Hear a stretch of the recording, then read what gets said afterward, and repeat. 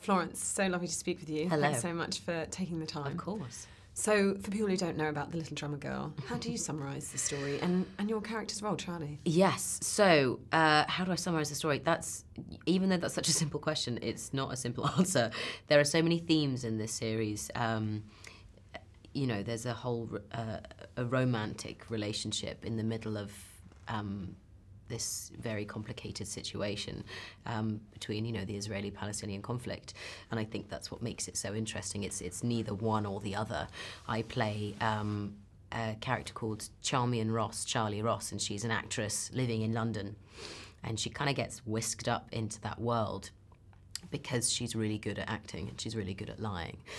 Um, and so it was uh, an amazing storyline to kind of play because she's not ready for that world and it was a it was a really cool opportunity to play someone that was in that world but was one of us um, and I hope that the audiences enjoy that aspect to it And John le Carré's writing has been adapted so successfully Yeah. for the screen, not least with the BBC's The Night Manager Yeah. um, a few years back. So, Yeah. what is it about his writing that just makes it so good for the screen? something that I love and something that I think is kind of then transformed really well onto screen is the fact that it doesn't dumb down the audience. And I know that's such a simple thing, but I, I think we're so used to being spoon fed now, whether it's like in books or uh, on podcasts or on TV, that actually it's really refreshing having something show you and and not waiting for you to catch up.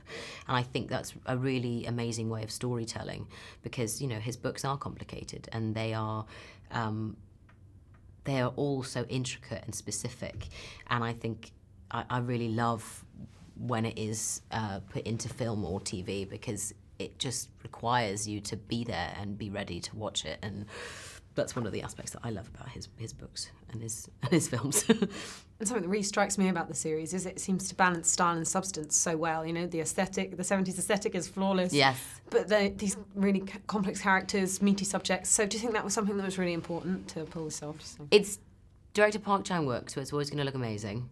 Um, that's a given. Um, but I think, I think what was appealing to all of us was the fact that, despite where we shot or or or how stunning it was at, the heart of it, we are doing that really complicated storyline, um, and it was so important for us to make sure that it was. Um, that we were doing it in the right way and that it was that we were understanding it as well.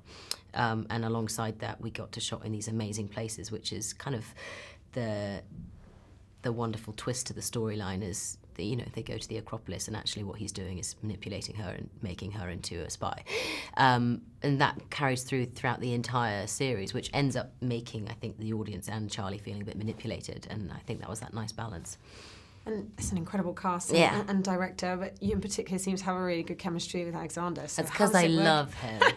Was it amazing to work yeah, together? it was amazing. He's a really, really talented man. Um, I think what's so interesting is right now. Um, I'm in a position where I've done lots of lovely work and I've worked with amazing people, but none of my stuff is out yet, and people don't really know where I've come from. And what's really gorgeous is when I go onto a set and the person that's been working for years and the person that everybody knows and the person that is the most talented welcomes you in such a wonderful way and expects you to be a part of it as much as they are. For me, that's just everything, and, and Alex did that completely. And um, you know, he's a he's a very talented person to watch.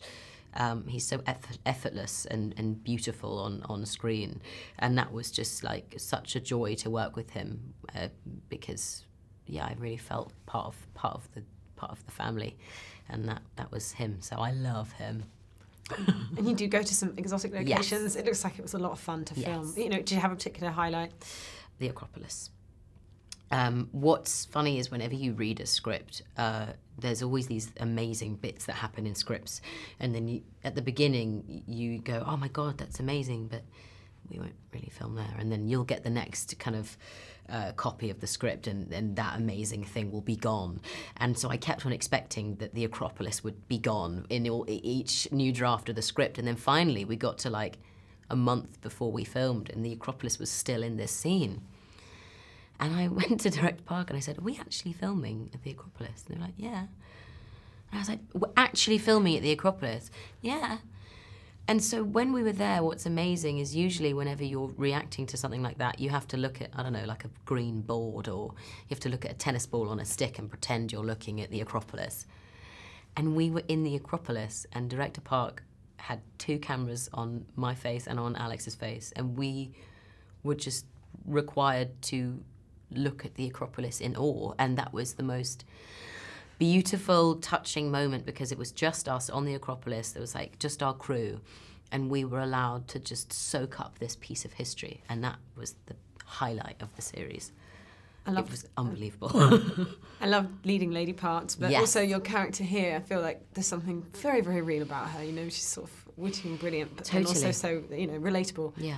Do you think there are more interesting characters coming out for women more than ever there is than before? Yeah, totally. And I and, and obviously, um, what an amazing time to be in. I know we're growing, and I know there are flaws in this industry, and I know that things are changing, and we're trying really hard to change them.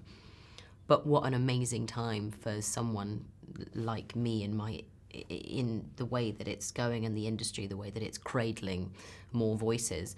It's such an amazing time to be here and to be working because the opportunities are opening and characters like superheroes are being given, given to women and you have you know Doctor Who is now a woman and then you also just have a character like Charlie who's very normal but is appreciated as being normal. And and I that was another thing that attracted me to the role. It's a great time and um, I'm lucky to be a part of it. Right, fantastic. Well, thanks so thank much for your time. cheers. Lovely I'll see you around. Yeah, see you. bye